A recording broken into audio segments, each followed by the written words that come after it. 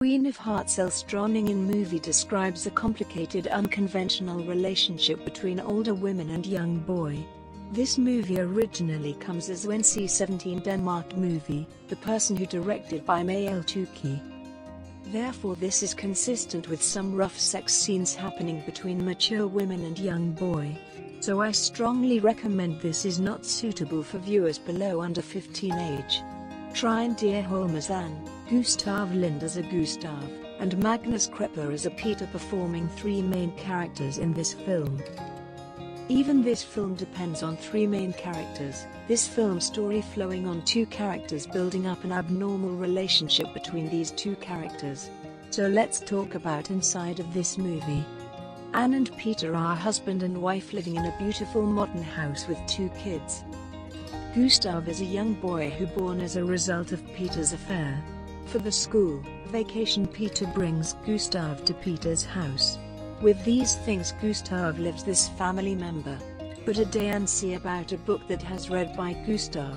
With this, she thinks a bit wide about this young boy, and she tries to be a bit close with Gustav. But Anne doesn't think this may be turning her life into an unconventional relationship with Gustav. Really Gustav is a young handsome smart boy. Therefore there is no doubt about feeling him to his stepmother. Actually, Anne is also fed up with her lifestyle pattern with Peter and her family. But she doesn't have any other option to drive her life out from this fed up lifestyle. So Anne wants to get rid of this. For this, she dedicates her time to spend with her three kids that mean including Gustav.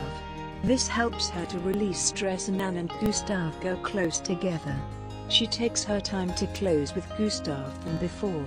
With things happening like this an unconventional association begins between Anne and Gustav.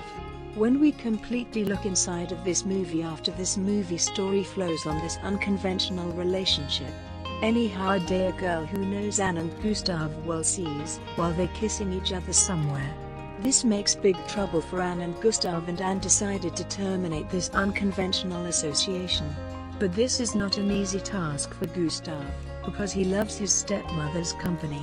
But Anne always tries to skip him. As a result of this Peter brings back Gustav to another place. A day Gustav comes again to visit Anne. He threatens Anne to say everything to Peter which was happened between him and Anne. But it was unsuccessful. So finally as a result of this unconventional association, Gustav has to be away from his life too. So this is the rough description of this movie. Even this starts with some joyful event, the movie goes end with keeping curiosity in the viewer's mind. So if you interest in this movie, you can check the description links below.